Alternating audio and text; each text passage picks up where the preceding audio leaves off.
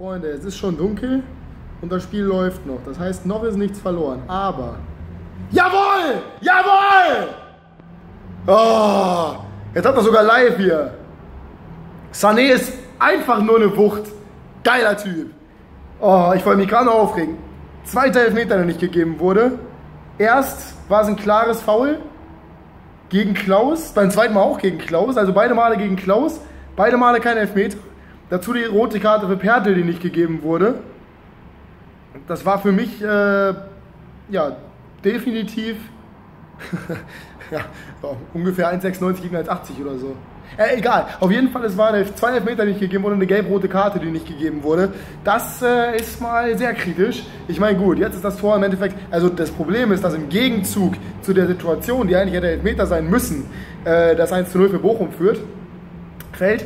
Aber jetzt ist im Endeffekt egal, weil jetzt ist Ausgleich gefallen. Ja? Jetzt muss Hannover nur das Momentum nutzen und das tun sie jetzt auch gerade vielleicht. Harnik, komm,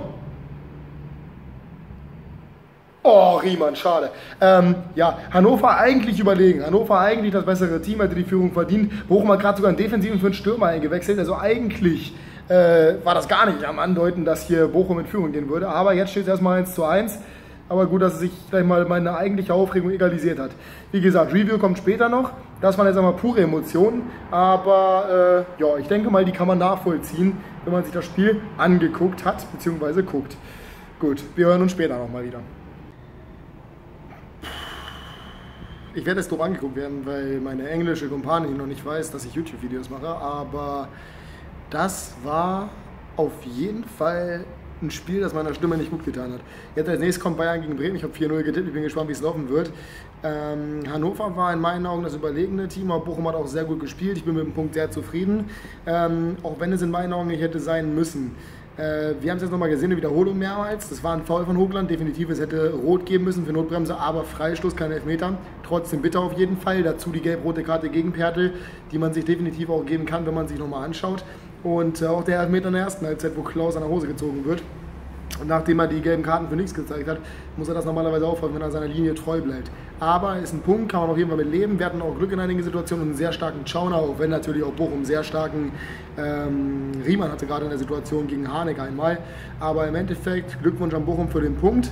Ihr habt mir jetzt, also alle, die mir jetzt geschrieben haben, Bochum würde euch zeigen, was, die, was Sache ist und so. Das habe ich jetzt nicht gesehen, aber war okay. Und Bochum habe ich auf Platz 4 oder 5 getippt, von daher auch ein gutes Spiel auf jeden Fall von denen.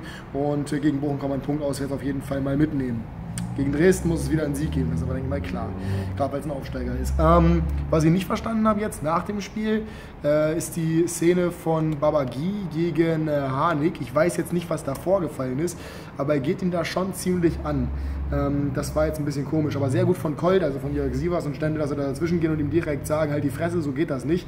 Äh, das ist eine Mannschaft, das ist ein Team und äh, dementsprechend muss das auch klar gemacht werden. Aber ich denke mal, Baba ist jung, der wird daraus lernen und äh, das Ganze wird aufgeklärt werden so gut ist das Verständnis in der Mannschaft, denke ich mal. Ich kann mir auch nicht erklären, warum das jetzt war, aber gut. Ähm, ist ja auch nicht so wichtig jetzt, weil im Endeffekt ist es ein Punkt gewesen und mit dem kann man auf jeden Fall zufrieden sein. Ähm, das, was mir nicht gefallen hat, war einmal die Chancenverwertung, leider Gottes diesmal.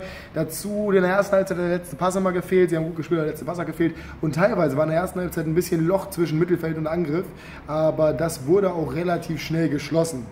Wir sind anfällig bei ähm, Kontern, das ist ganz klar. Das liegt aber vor allem daran, dass wir jetzt so offensiv spielen, spektakulär und so weiter und so fort. Dann passiert halt sowas wie beim Gegentor, aber das wäre eventuell nicht gefallen, wenn dann nicht die Geschichte gewesen wäre mit ähm, ja, Klaus gegen Hochland. Hatten wir ja schon mal letztes Mal gegen Offenbach, wo es Füllkrug gegen den Offenbacher war, wo es auch hätte Freistoß geben müssen. Ähm, ja, oder sollen, können auf jeden Fall, können auf jeden Fall. Äh, sollen natürlich aus meiner Sicht. Mm, ja, aber war auf jeden Fall in Ordnung im Endeffekt und von daher ja, bin ich gespannt auf die nächsten Wochen. Ich werde morgen das Ganze nochmal äh, Revue passieren lassen, nochmal ein bisschen mehr zum Spiel sagen, nochmal einen Spielbericht geben, wie ich das Ganze gesehen habe. Jetzt natürlich gerade noch alles voller Emotionen und so weiter und so fort. Und vielleicht ist morgen noch Sachen mit, ähm, die schon geklärt. Dazu rede ich morgen nochmal ein bisschen über Bundesliga-Auftakt. Jetzt Bayern gegen äh, Bremen, das geht jetzt sofort los. Und dann würde ich sagen, sehen wir uns morgen nochmal wieder bei einem Cut. Bis gleich.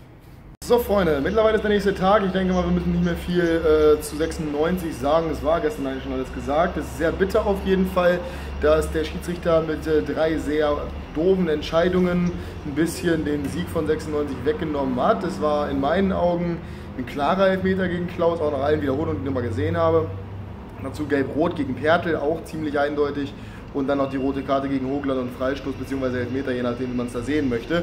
Bitte aber, was willst du machen? Äh, aus solchen Spielen muss es geben. An sich ist es nicht schlimm, dass 96 nur einen Punkt geholt hat, weil, äh, um die Euphorie ein bisschen zu bremsen, war das gut, denn ich hasse es auch jetzt, dass, sie, dass viele 96-Fans jetzt schon wieder sagen, auch Füllkrug so schlecht vergibt Chancen, Hardik vergibt Chancen, bla bla.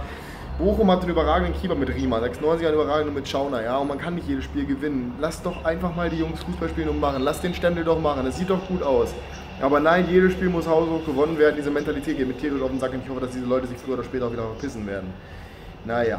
Ähm, Bayern Bremen muss man auch nicht viel zu sagen, ja. Standesgemäß 6-0 zum Auftakt.